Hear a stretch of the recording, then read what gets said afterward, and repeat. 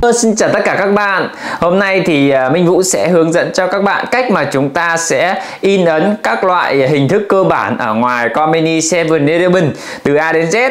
Thì à, in ấn nó sẽ có rất là nhiều những cái phần mà chúng ta yêu cầu. Đó là giả dụ như in tài liệu thì chúng ta, ở đây chúng ta sẽ có in một mặt in hai mặt à, in những cái trang trong một cái tệp tại trong một cái file tài liệu chúng ta sẽ có rất là nhiều trang các bạn nhé thì chúng ta có thể chọn lọc những cái trang mà chúng ta muốn in còn những cái trang mà chúng ta không muốn in thì chúng ta có thể loại bỏ để chúng ta giảm cái chi phí in các bạn nhé và in màu in trang đen hoặc là à, in uh, sách in ờ, hình ảnh ra ngoài ờ, cái tờ giấy A3 A4 à, đây là không phải là hình thức in ảnh các bạn nhé. Đây là hình thức in tài liệu mà nó lấy hình ảnh từ trực tiếp từ trong điện thoại ra thì nó cũng thuộc lại là in tài liệu các bạn nhé. Đó thì chúng ta có thể in tất cả những cái hình ảnh hoặc là những cái uh, chú ý các kiểu ra để cảnh báo á. Những cái tờ cảnh báo các kiểu chúng ta có thể in ra để mà uh, dán lên tường các kiểu. Đó và uh, tiếp theo thì mình sẽ nói về cái phần in ảnh. Thì thì đôi khi chúng ta đi du lịch các kiểu thì chúng ta có thể à, chụp được những cái tấm ảnh đẹp như thế này. Tấm ảnh đẹp thì chúng ta có muốn in ra để mà làm kỷ niệm thì chúng ta có thể in trực tiếp vào đây. Đây là hình thức in ảnh ra khổ à, ra ra giấy ảnh các bạn nhé đó thì uh, trong cái phần in ảnh thì nó cũng có cái phần uh, chú ý nhưng mà cái phần này thì mình sẽ làm ở cuối video. Tại phần này thì cũng ít bạn gặp đó là cái tài liệu nhiều cái tài liệu nó dù có cái file trên 10 megabyte. Thì uh, chúng mình sẽ để ở cuối video tại cái phần này ít người, người gặp phải. Rồi thì để mà in ấn thì trước hết chúng ta bắt buộc phải tải cái phần mềm in ấn các bạn nhé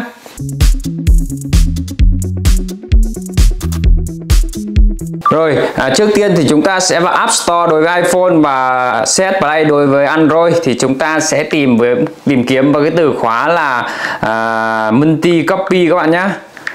Đó, thì đây là cái phần mềm in ấn của công của Comini 7-Eleven thì chúng đây thì ở trên hình ảnh thì mình có uh, có khoanh tròn là các bạn nhé thì các bạn tải về thì phần link link mình cũng để ở dưới phần mô tả video. Nếu các bạn nào mà không tìm thấy các bạn sẽ nhấn vào cái link để tải cũng được rồi à, sau khi mà tải được phần mềm thì vấn đề tiếp theo của chúng ta đó là chúng ta sẽ cần phải à, chuẩn bị tài liệu để mà in.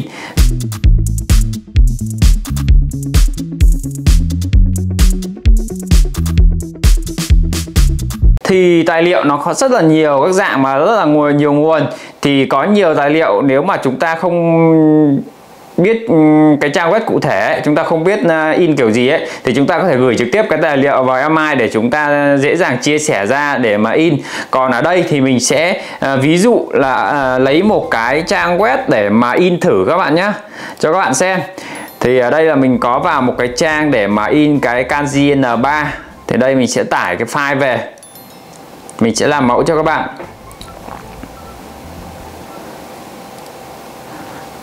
Đó, đây là một cái trang cô xe thì nó có một cái phần à, file tài liệu, nó rơi vào khoảng 20 trang. Ở đây thì mình tải về và mình sẽ mở ra, kể cả trong mail mình cũng sẽ mở ra và mình sẽ nhấn vào cái điều viện ba chấm ở bên góc bên tay phải các bạn nhé đó, và chúng ta sẽ nhấn chữ mở trong. Đó, sau khi mà nó sẽ xuất hiện cái bảng lên, bảng chia sẻ lên thì chúng ta sẽ kéo sang cái mục mà ô phần mềm chúng ta vừa tải về. Nếu như mà ở chỗ này nó không xuất hiện thì chúng ta có nhấn vào chữ thêm các bạn nhé chúng ta có thể nhấn vào chữ thêm thì ở trong này nó cũng sẽ xuất hiện các bạn nhé đó, nhấn vào chữ Marichi Copy. Đó, nó sẽ mở luôn cái phần mềm à, in ấn này ra. Và chúng ta sẽ nhận, nhấn vào chữ à, Fujitsu Printer các bạn nhé rồi ở đây là tài liệu nó đã được thêm vào trong cái phần mềm này thì nó sẽ lưu ở trong đây. À, đến khi các bạn ra ngoài ờ, ừ, uh, con mini các bạn in thì nó vẫn còn nằm ở trong đây các bạn nhé thì uh, tiếp theo đây thì mình sẽ uh, nói về uh, mình sẽ hướng dẫn về phần in. Nhưng mà đối với bạn nào mà ra Comini hiện tại ở Comini nó có hai loại máy in. Đó là máy in theo theo thế hệ mới và máy in theo hệ, hệ cũ. Thì bạn nào mà à, gặp máy in không giống như trong video này thì các bạn có thể xem lại cái video mình sẽ để ở bên góc tay phải bên màn hình cái link đề xuất. Đó là cái video hướng dẫn về in à, ở trên cái máy kia cũ của con mini 7-Eleven còn đối video này là cái phần máy in mới các bạn nhé. Máy in mới mà có nhiều con mini đã thay thế và nhiều con mini vẫn chưa thay thế. Nên thế là các bạn nào mà, mà ra con mini nào nó có cái máy in nào thì các bạn chọn ừ, xem video nó chuẩn các bạn nhé. Rồi thì ờ, bây giờ sẽ là phần in ấn ở ngoài con mini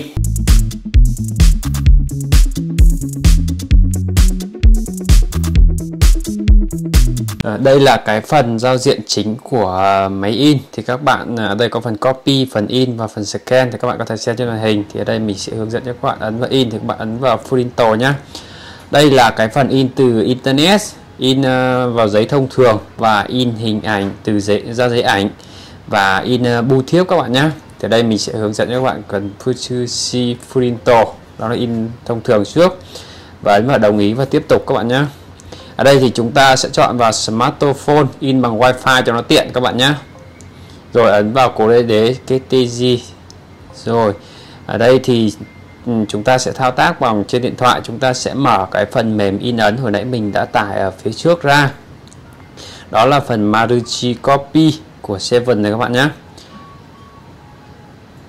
Tiếp theo thì chúng ta sẽ chọn vào phục uh, Fuji Printer. Đó là in ờ, giấy thường các bạn nhé ở đây phần tài liệu thì hồi nãy mình đã rồi, là ấn thêm rồi, thì bây giờ các bạn có thể ấn thêm hoặc là ấn vào gửi. Và đây sẽ có máy in mẫu mới và máy in thế hệ trước khi thay thế, thì chúng ta sẽ chọn vào cái phiên bản máy in mới nhé. Và đưa cái phần mã QR vào trong cái hộp quét và nhấn vào chữ kết nối. Đó, chúng ta đợi một chút xíu là máy nó sẽ tự kết nối. Mình đã quay rất là rõ ràng trên màn hình cho bạn xem rồi, thì mình chỉ thuyết minh thêm thôi đó và tệp đã được gửi xong. Và chúng ta sẽ nhấn vào chữ Kakunin Chuge Susumu và chọn vào Furinto no uh, Fuchu, Fuchu no Furinto các bạn nhé. Còn phần bên kia là phần in ảnh. Rồi chúng ta sẽ chọn vào phần này. Futushino Furinto. Rồi chọn vào cái tệp mà chúng ta vừa mới gửi. Đó đây là cái mẫu. Và chúng ta sẽ nhấn tiếp vào cái mục uh, cổ đế KTG các bạn nhé rồi ở đây ở phần trên là chúng ta in tất cả tại vì cái này là tẹp 20 trang thì mình chỉ in một trong một hai trang thôi. Thì ở đây nó sẽ có phần in uh, phần này là phần bắt đầu các bạn nhé trang bắt đầu. Và tiếp theo là phần trang kết thúc các bạn có thể điều chỉnh để in uh, những cái trang các bạn chỉ định. Đó mình chỉ in hai trang làm mẫu cho các bạn thôi. Đó tại vì 20 trang này mà in những cái trang kia là những trang thừa thải chúng ta không in thì uh, nó sẽ gây lãng phí các bạn nhé sau khi mà thiết lập xong thì chúng ta sẽ nhấn vào chữ code gì chữ ghế siêu siêu mự.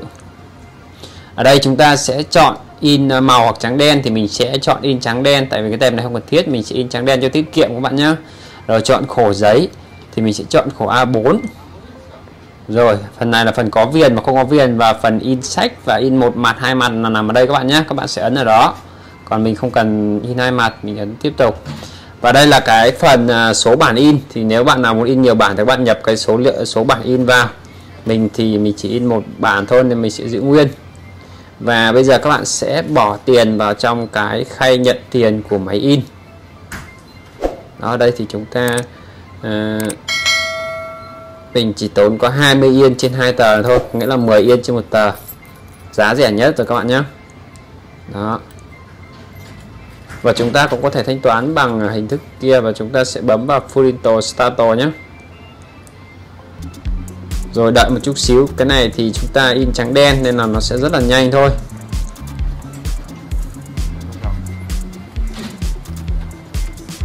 Rồi, đây là hai bản in mà mình à, hồi nãy mình đã chuẩn bị tài liệu các bạn nhé. Đó, mình in trắng đen cho nó rẻ. Còn bạn nào in màu thì các bạn sẽ chọn vào màu nhưng mà sẽ mắc hơn rồi tiếp tục sẽ là phần à, mình sẽ in mình sẽ in ờ, một cái ừ, tài liệu ra thì ờ, một cái hình ảnh ra. Đó chúng ta ấn vào đồng ý luôn. Vẫn tiếp tục bấm như ờ, cái phần in ấn phía trước. Và cũng thao tác ở trên điện thoại. Bây giờ chúng ta sẽ thao tác ở trên điện thoại. Rồi chúng ta tiếp tục lại mở cái phần mềm in ấn ra nhé. Chọn vào Fujitsu Printer các bạn nhé rồi ở đây các bạn có thể thêm hình ảnh và chọn vào hình ảnh các bạn nhé các bạn nhìn cái mũi tên ở trên nhé rồi chúng ta sẽ chọn một hình ảnh.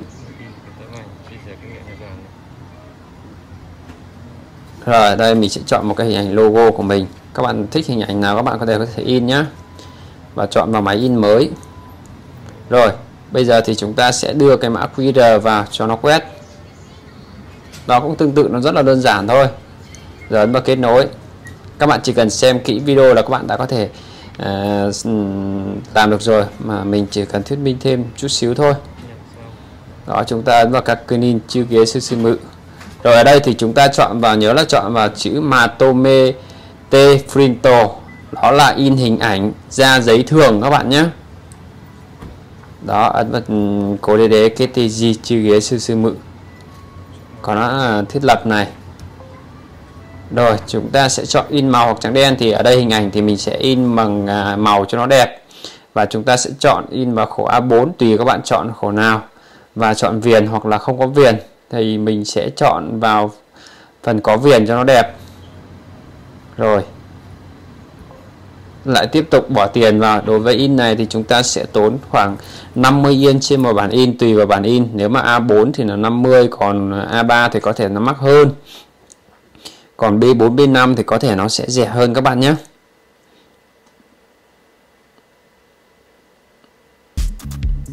Rồi, cái này thì nó sẽ in lâu một chút tại vì nó sẽ có màu và những cái chi tiết hình ảnh nó sẽ nhiều hơn.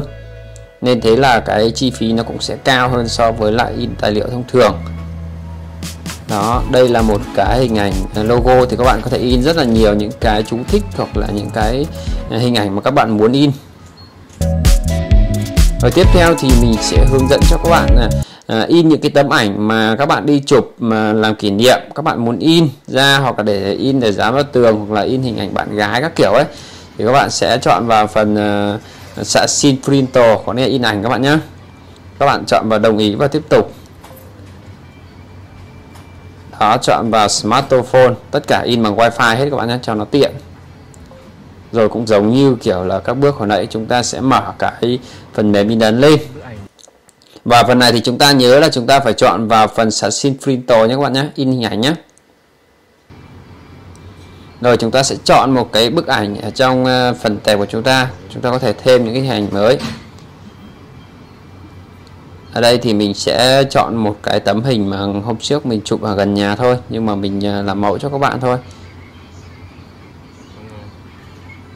Đó mình chọn được một cái tấm ảnh và chỉ chọn một tấm thôi các bạn nhé còn những cái tấm kia mình không cần thiết thì mình không tích vào. Và vấn vào ok rự cho nó tới phần tiếp theo. Đó chúng ta lại à, quét cái mã. Quét mã QR và nhấn vào đây nhé mình bấm về kết nối.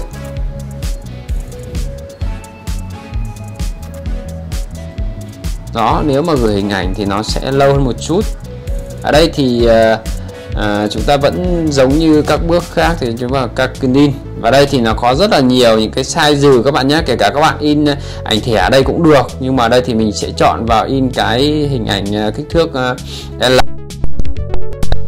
Size dừ nhé. Thì nếu mà ừ, kích thước 2L thì nó sẽ 100 yên nó sẽ mắc thì mình sẽ in làm mẫu trong video thì mình chỉ in ừ, size L thôi. Tùy các bạn sở thích các bạn các bạn có thể chọn ở đó chọn một tấm ảnh các bạn muốn in. Đó. Và cứ thế nhấn tiếp vào cối để kết TG thôi. Và nhấn vào, bỏ tiền vào. Đối với in này thì là 40 yên các bạn nhé. Ngày xưa thì đâu đó nó tầm 20 yên, nhưng mà qua nhiều năm nay, tầm 4 5 năm nay các kiểu ấy, thì giá nó đã lên rồi. Và bây giờ nó tầm khoảng 40 yên trên một tấm ảnh này. Rơi vào khoảng 7 8 ngàn một à, tấm ảnh cũng bình thường các bạn ạ. Rồi ấn vào Furinto Stato rồi đối với phần in ảnh thì chúng ta sẽ lấy ở cái phần khay ờ, in ảnh các bạn nhé, không lấy ở phần khay giấy nhé các bạn nhé. Đó, ở đây thì nó sẽ hiển thị, nó sẽ lòi một cái tấm ảnh cho chúng ta.